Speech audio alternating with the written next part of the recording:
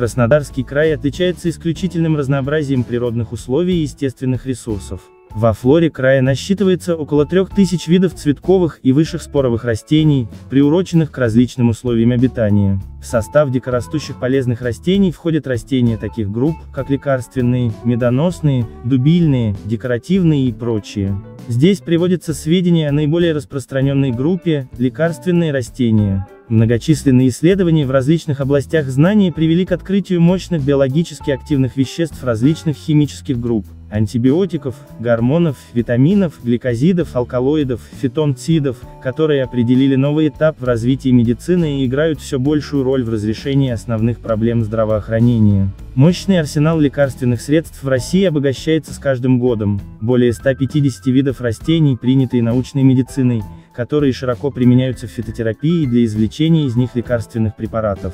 По имеющимся данным, более тысячи видов различных растений используются в народной медицине, 769 видов растений применяются в медицине специального направления – гомеопатии. Использование растений с лечебной целью известно с глубокой древности, но и сейчас, несмотря на прогресс синтетической химии, интерес к лекарственным растениям не уменьшился. Хорошие лечебные свойства, доступность, отсутствие, как правило, вредного побочного действия и малая ядовитость большинства препаратов из растений сделали их популярными и широко распространенными лечебными средствами. Весьма важное значение имеют лекарства, получаемые из растений, при лечении сердечно-сосудистых заболеваний. Здесь до сих пор они занимают ведущее место, 77% медикаментов, применяемых для лечения этих заболеваний, приготовляется из растительного сырья.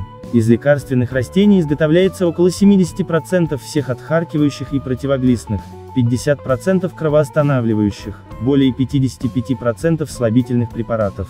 В настоящее время около 40% всех лекарственных средств получается из растительного сырья. Таким образом, лекарственные растения продолжают оставаться ценным, а в некоторых случаях незаменимым средством лечения. Спрос на лекарственные растения непрерывно возрастает в связи со значительным ростом потребностей химической и фармацевтической промышленности, экспорта и удовлетворения населения через аптечную сеть. Объем заготовок лекарственного растительного сырья в Краснодарском крае за последние годы значительно увеличен. Особенно возросли заготовки по таким важным лекарственным растениям, как дескорея, скополия, ландыш, аденис, пустырник, череда, водяной перец, боярышник, шиповник, зверобой, золототысячник, крапива, дуб-кора, мать и мачеха, подорожник и многие другие. В специализированных совхозах освоены и введены в культуру такие ценные лекарственные растения, как послен дольчатый, ами большая, наперстянка красная, шалфей лекарственный, мята перечная, мак масличный,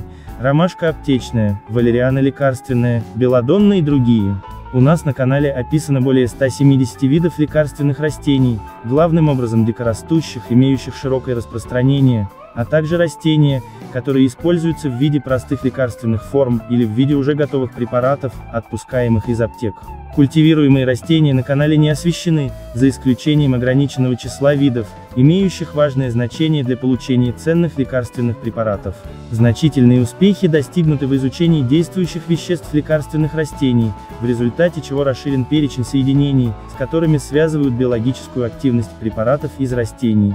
За последние годы определена роль в лечебном действии таких веществ, как кумарины и фурокумарины, флавоноиды, микроэлементы, тритерпеновые сапонины и многие другие соединения, содержащиеся в различных растениях. В этой связи и появилась необходимость создания этого канала, цель которого ознакомить вас с лекарственными растениями, уже разрешенными для применения в медицинской практике, а также привлечь внимание специалистов к изучению растений, известных народной медицине. На канале сообщаются данные о главнейших лекарственных растениях, произрастающих на территории Краснодарского края. Кроме указаний об использовании растений в научной медицине, приведены также литературные сведения о применении их в народной медицине. Следует при этом иметь в виду, что лечение травами далеко не всегда безвредно. Многие лекарственные растения, оказывающие заметный терапевтический эффект, совершенно безвредны для организма. Однако имеются и такие лекарственные растения, которые при неумеренном их употреблении могут вызвать в организме человека самые тяжелые последствия. Поэтому лекарственные растения следует применять лишь после консультации с лечащим врачом или по его совету.